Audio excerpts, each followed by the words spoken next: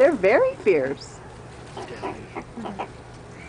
That is. All That's all. They just inhaled them. Yum yum. How can you not fall in love with them? I know, right? They're so cute. I know. I put the You kids guys are adorable.